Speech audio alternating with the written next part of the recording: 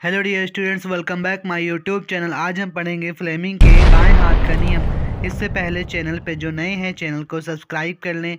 Video पसंद आए तो वीडियो को लाइक कर लें। आइए हम पढ़ते हैं यह नियम, जो वेरी इंपॉर्टेंट है।